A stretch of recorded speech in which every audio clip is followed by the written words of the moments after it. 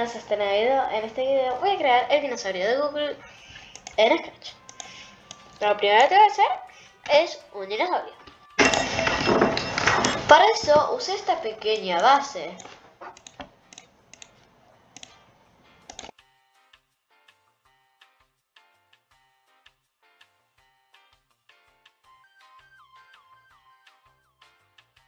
Y aunque no me haya quedado especialmente bien, tampoco fue especialmente fácil.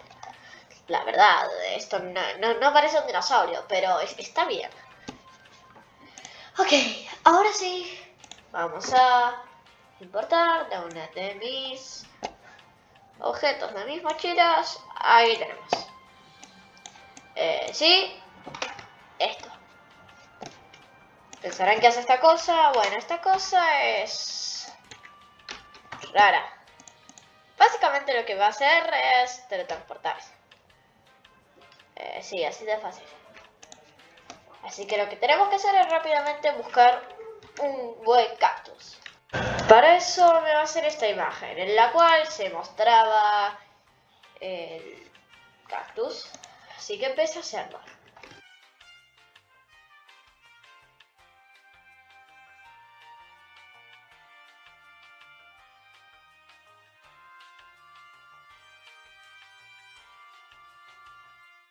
Y listo, ya teníamos el cactus y el dinosaurio Pero ahora creo que faltaban muchas cosas.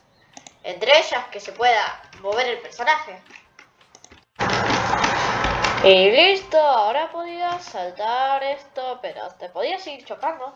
Perfecto, ya tengo literalmente todo lo básico del juego listo.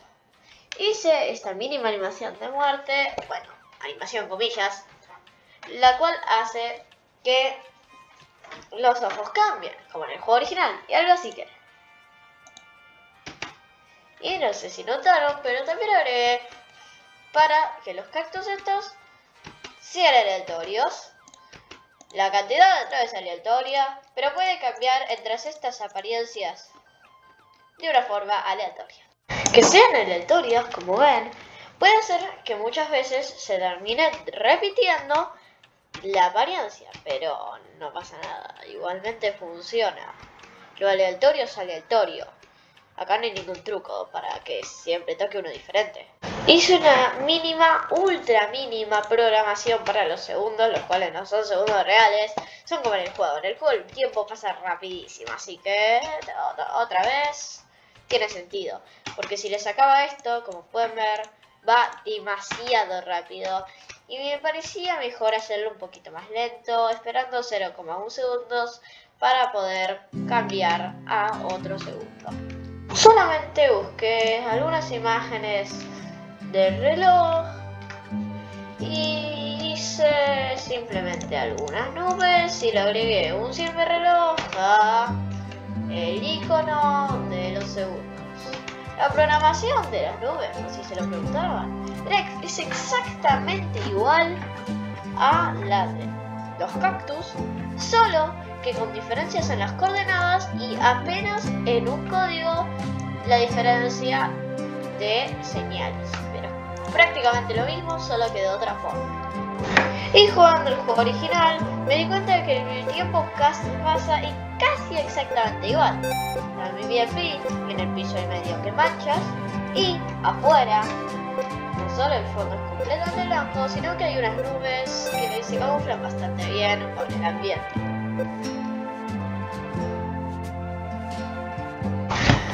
Hice lo mismo que con las nubes, lo que con el piso y está casi terminado. Como ven el piso se ve muy feo, así que solo vamos a cambiar un poquito las coordenadas.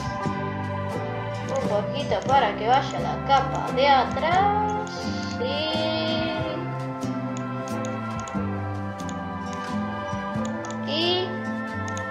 Listo.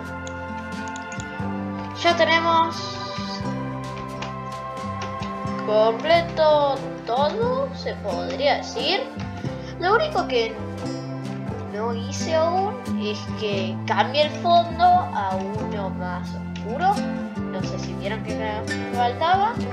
Y también faltan los murciélagos estos que para dinosaurios, los dinosaurios esos raros, eh, voladores que no recuerdo el nombre, los cuales te atacaban también.